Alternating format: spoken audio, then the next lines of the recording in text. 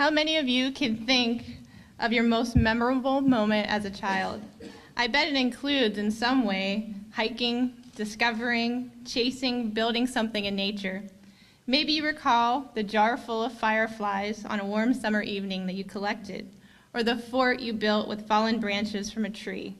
Your tennis shoes filled with water as you searched for salamanders under slimy rocks in a stream, or making wishes as you blew the seeds from a dandelion flower. These are the experiences that are becoming lost in our world of busy schedules, organized sports, iPods, PlayStations, TV, and other technologies that sometimes keep us from being in and appreciating the natural surroundings around us. We are fortunate to host Mr. Louv tonight. In addition to other books written focusing on family, nature, and community, he is chairman of the Children in Na Nature Network, a nonprofit organization helping to build the movement to reconnect children and nature. He was a columnist and member of the editorial advisory board for Parents Magazine and has helped to find Connect for Kids, the largest child advocacy site on the web. Speaking frequently around the country, he has appeared on the morning show on CBS, Good Morning America, Today, and the NBC Nightly News, just to name a few. An advocate and nature boy by heart, Mr. Louv comes to us sharing his concerns that many parents, teachers, and community members face today, finding the balance between work and play for their children in this ever-competing world while helping to foster a sense of wonder, curiosity, and respect for the natural world around us. In the spirit of both Winnie Palmer and Fred Rogers and the Benedictine tradition of hospitality, please let us extend a warm welcome to Mr. Richard Louv.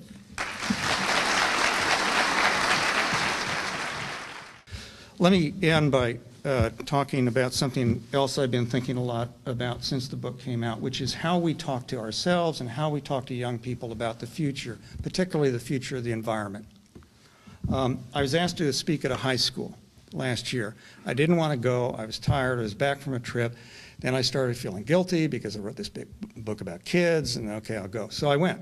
I expected, uh, I expected uh, 20 kids, and there were 200 they were given extra credit. Um, I talked for an hour, and uh, you could have heard a pin drop. Now, I was astonished. These are high school kids. I expected gum smacking and note passing. Now, that's the teachers. But the, uh, but the kids were, were just on the edge of the, they were really, really listening. Now, it's not because I'm a great speaker. I'm not. I'm okay. It was something else it was, I talked about two things. I talked about the fact that their health, not an abstraction, their health is connected to their experience of nature. And the second thing I talked about was the fact that because of global warming and all of these issues environmentally that we do face, whatever we want to call them, in the next 40 years, everything must change.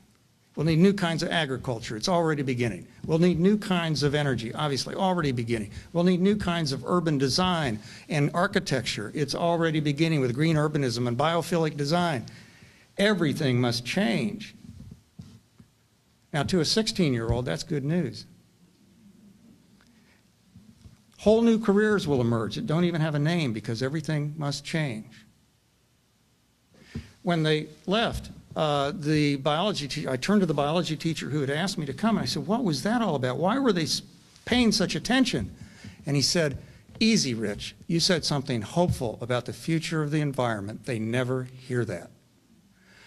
The message, they hear a lot of messages, but the main message getting through recently has been it's too late. Game's over. So why would we expect them to suit up for the game? He said a guy who was an expert from UCSD on global warming had come in two weeks earlier, and he said these kids' eyes froze over. We have been living in a culture of depression, a cultural depression, very much like, I believe, the economic depression in the 1930s. But we have, this has happened because we have become addicted to despair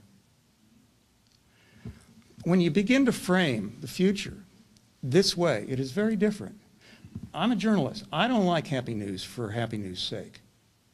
And I'm not saying that we should pull back for a minute from the bad news about the environment. We should tell more bad news. But we're missing two-thirds of the story that, by the way, JonBenét and, you know, actresses that die and stuff are filling up. We're missing two-thirds of the story, and the two-thirds of the story we're missing is that everything must change. And we may be entering, being forced to enter, one of the most creative times in hundreds of years of human history, because everything must change. Every generation wants to create a new civilization when they're that age. And what have people my age been telling them? The baby boomers? We've been saying, oh, we tried that, didn't work out. We have to change our message. We have to change the way we frame the future. Martin Luther King said again and again, in different ways, that any movement will fail if it cannot paint a picture of a world that people will want to go to. We have been failing at painting that picture. We must paint that picture. We must see a world that we want to go to, and it can be better. Biophilic design, they're finding that buildings in which nature has been designed into it from the very beginning and kept there in communities, productivity goes up, absenteeism goes down. People are happier. People who in schools with natural light get better grades. Test scores go up when you get kids outdoors. Eco towns are emerging. I just visited one uh, a few weeks ago in uh, the Netherlands that are wonderful places to live.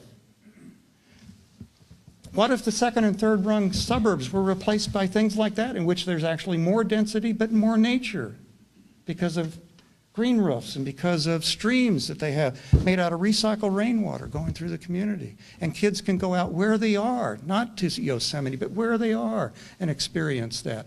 I was uh, spoke in Florida recently. The lieutenant governor introduced me, and beforehand she was talking to me, and she says, "Rich, do you think that things will ever be as good as they used to be?" And when I spoke, I said that gov- lieutenant governor asked a, an interesting question, but it's the wrong question. The right question is, how can we make things better than they ever were? And we can, if we begin to paint a picture of a world that people will want to go to. And perhaps the first step in painting that picture is to simply take a child outside. Thank you.